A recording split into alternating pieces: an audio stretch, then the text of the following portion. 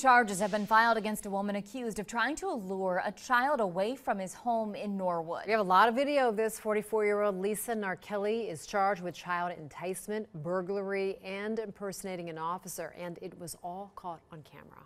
So Fox 19's Amber Jayanth has the latest from the courtroom.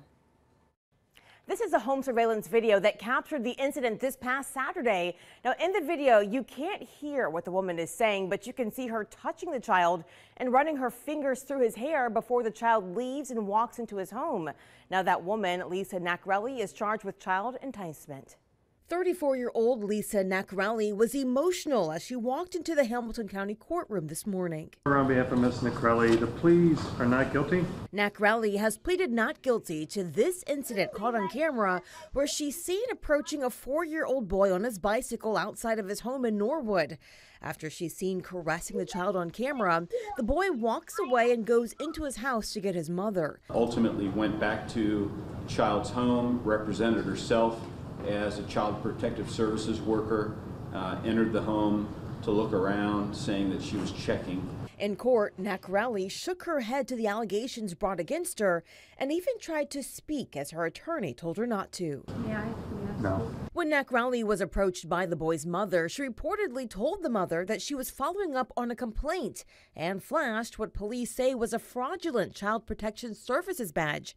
During court, Nacarelli's attorney alluded the behavior could have been a result of a mental health episode. However, the prosecuting attorney has a different theory.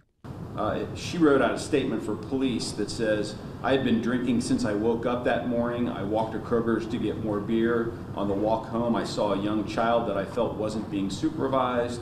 So, in an attempt to scare the parent, I pretended to be from CPS. After her court appearance this morning, Norwood police filed new charges for impersonating an officer. So, we were able to obtain the video footage from the homeowners there, and on Sunday, the following day, uh, Lieutenant Mark Vickers observed the individual from the video, uh, known as Lisa Nacarelli, walking past the PD wearing the same exact clothes, the green top and the red striped skirt.